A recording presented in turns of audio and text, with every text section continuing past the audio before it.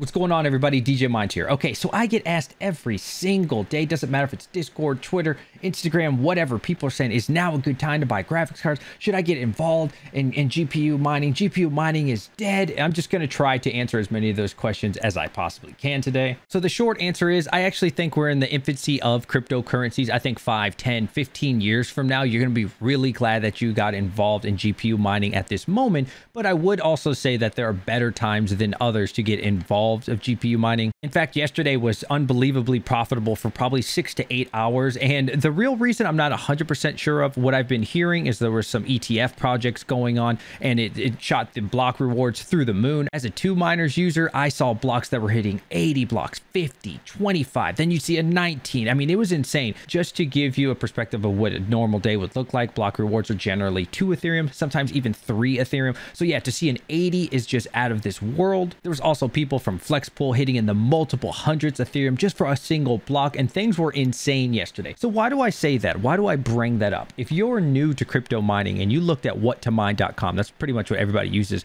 you'll see that we were making way too much money yesterday. I mean, it's not a bad thing, obviously, but like if you were to look and say, oh, how much am I going to make? And just looked at like the 24 hour average, oh, wow, we're all killing it, right? And so I have a 4.7 gigahash right now at nighttime. We're actually hitting just about 5 gigahash because I added a lot of graphics cards. So, you know, if I looked at it, it was a huge increase than what I would normally get. Some days my farm is making $180 every single day, and then other times it's $230 a day, right? So it doesn't really make sense to focus so much on the dollar amount. Really focus on that coin if I were you. So why did I mention that sometimes are better than others to get involved in GPU mining or really cryptocurrencies in general? Well, really it comes down to the price of these graphics cards. Right now is actually not bad. You're starting to see a lot of graphics cards specifically AMD, but also NVIDIA very close to their MSRP. They've come down probably 30% for when I called out people should hold the line. A lot of people didn't. I wish they would have, but I do think over the course of the next few months, we'll see another 15, 20%,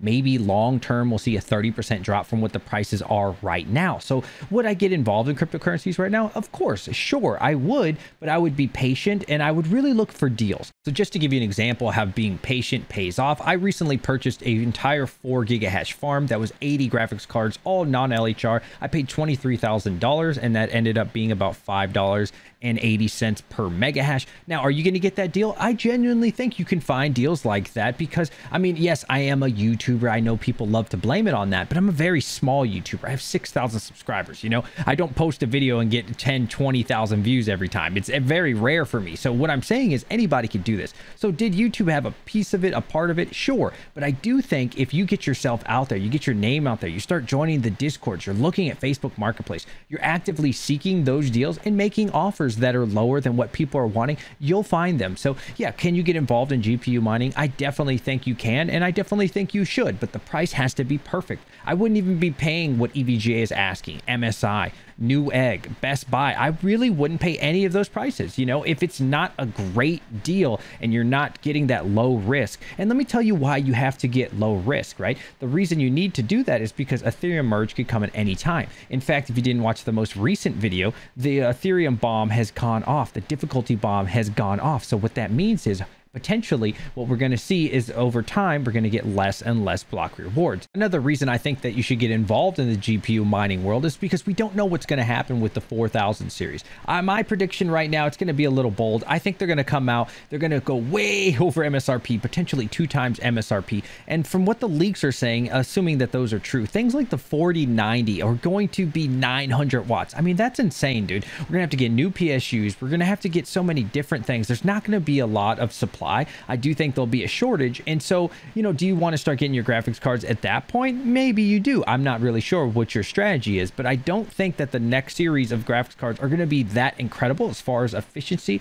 I could be wrong. I'm sure that they'll hash away, but assuming that Ethereum goes away by that time, I mean, are those going to be the most efficient cards or people going to want the 3000 series even more at that point? I'm not really too sure. Another reason I think it's a great time to get involved with GPU mining is because of the community. Now, you can't really put a dollar amount on that, but if you've ever wanted to be a part of something greater than yourself, I mean, I used to play football in high school, and I always miss that feeling of camaraderie. Well, you get that in the GPU world. I don't know for the ASIC world, but I know for the GPU world, man. Yesterday we were all playing PUBG and the Misfit Mining Discord, and that was like so fun, you know. And we just talk about mining. We also game. You'll meet so many like-minded individuals. You know, if there's something wrong with your rig, we're very helpful. I try to help as many people as I can. It's a family. I've actually ended up meeting a lot of people from the mining community. People like Rondi and Brian Hollywood helped me out bring my entire farm from Florida to New York. And, and, you know, that's the kind of people that you're involved in. That's the kind of people that you're meeting. You know, it, it really is a brotherhood, a sisterhood, a family.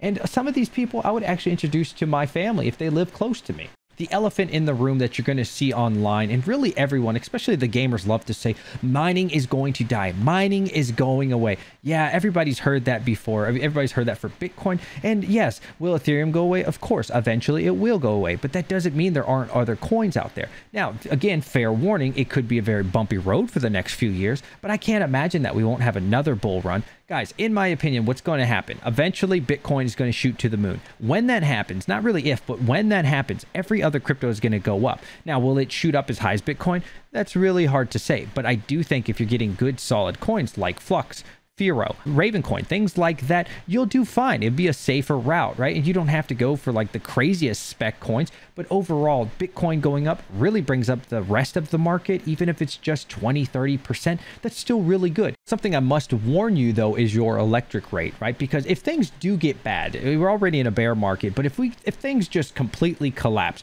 your electric rate is everything. If you have 40 cents electric, would I recommend GPU mining? Not really, unless you just have a couple for fun, you know, like in your gaming computer or something. Yeah, sure. But other than that, probably not. 30 cents starts to get very dangerous. 20 cents is a bumpy road, and anything, you know, not under 10 cents honestly is going to hurt long term, assuming that the ice age does come. I'm at 15 cents, so I'm not very safe myself. But my other house, the HOA, you know, that one's free electric or included electric. So the two kind of go in the middle, and I'm probably averaging around 7.5 cents. At that rate, it's pretty decent. But again, if you have 20, 25, 30, you know, you're obviously going to get kicked out of the GPU mining world much quicker than somebody that had like 5 cents or 3 cents. So just really consider your electric rate and what you want to do with that. If you ever need some reassurance of if cryptocurrencies are going to be here 5, 10, 15 years from now, I strongly encourage that you go to YouTube and watch The Rise and Rise of Bitcoin. I've personally watched this movie about three times. It's free. I think you might have to pay for it some other places, but on YouTube, I know that you can watch it. I'll put a link for that in the description below. But it will show you the cycles, man. This shows you people that were involved in Bitcoin from the very beginning. They'll see so many ups and downs, and this is just another one of those cycles, man. Obviously, Bitcoin's a little bit different than GPU money, but I think cryptocurrencies as a whole, if you're ever not feeling confident, just watch that movie and you will be like, you know what, man? Cryptocurrencies, we're good to go. So let me know if you like this new angle. I actually have two cameras hooked up right now. This one's brand new Sony a400, uh, not sponsored or anything. If you'd like to see this angle more, if you like the webcam angle, which was the straightforward one, just let me know in the comment section below and maybe I'll film my videos like that. If you ever want to connect with me, you can check me out on Twitter, TikTok, Instagram, and join our Discord. We always need more people there. And I'll catch you guys in the next one. DJ Mines, signing out.